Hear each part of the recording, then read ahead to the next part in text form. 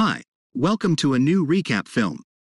Tom is a skilled designing understudy at Cambridge University who is being pursued by enrollment specialists from a few significant oil organizations, all encouraging him progressively more extravagant compensations and occupation advantages on the off chance that he consents to work for them.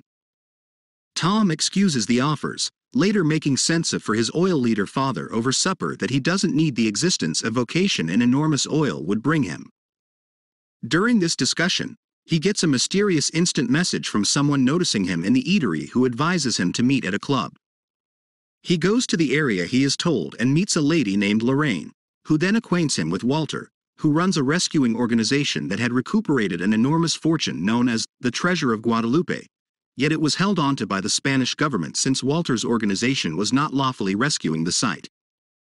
Walter has assembled a group comprising individuals with different ranges of abilities including Lorraine, a scalawag, Simon a planned operations master, Klaus a PC programmer, and James, Walter's long-lasting fortune-hunting accomplice. Walter needs Tom's designing virtuoso to assist them with penetrating the vault that holds the seized treasure inside the Bank of Spain. Tom consents to help and goes along with them in Madrid during the 2010 World Cup as Spain is battling for the title. Utilizing the group commotion from the many fans accumulated in the city to watch the matches as cover, they scout the bank and discover that the vault sits for a monster scope under an enormous water repository. Assuming the load on the scale varies at all, the vault floods, suffocating any gatecrashers who may be inside. Expecting to track down an answer before the finals, after which the group will scatter, Tom before long establishes that they can overcome the scale by freezing it with 500 liters of nitrogen, easing back the mechanics of the scale long sufficient that it wouldn't enlist their presence and trigger a flood while they recover the fortune. They push ahead with their arrangement, with Simon effectively freezing the scale underneath the floor of the vault while Tom, Lorraine, and James hazardously advance inside.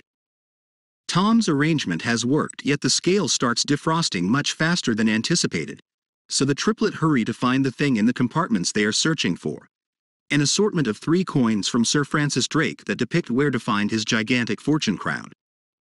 As they find the coins, Gustavo, the head of bank security, has recaptured control of his frameworks after they were unwittingly infiltrated by Klaus days sooner. Having learned in the days earlier that the group had proactively penetrated the bank to scout it, he dispatches a strike group to capture the gatecrashers. Accepting they are compromised, Walter advises the triplet to give up to the group. James then, at that point, threatens to use a firearm on Tom, declining to give up, and requests Tom hand over the coins, uncovering that he's working for the British government. The vault secures catching them inside. Nonetheless, James's jumping experience manages the cost of him the capacity to swim to somewhere safe and he leaves the other two. Using up all available time, Tom associates that the way to halting the stream with water into the vault is deceiving the scale by adding more weight and making it think the vault is brimming with water. He educates Simon to stack the vacant nitrogen canisters onto the scale for extra weight, however ending the progression of water isn't sufficient. The group loses contact with Tom and Lorraine, accepting they have suffocated, until if all else fails Simon himself moves onto the scale with a radio telecom the World Cup discourse, with the last piece of weight stopping the water stream. The vault begins to drain, and Tom and Lorraine are able to evade the bank security and escape to the square where the fans watch Spain defeat the Netherlands for their first World Cup title. At the British Embassy, James has reported to Margaret, an associate of both his and Walter's, and delivers the coins, only to find out that the coins are fakes and that Walter is still in possession of the originals.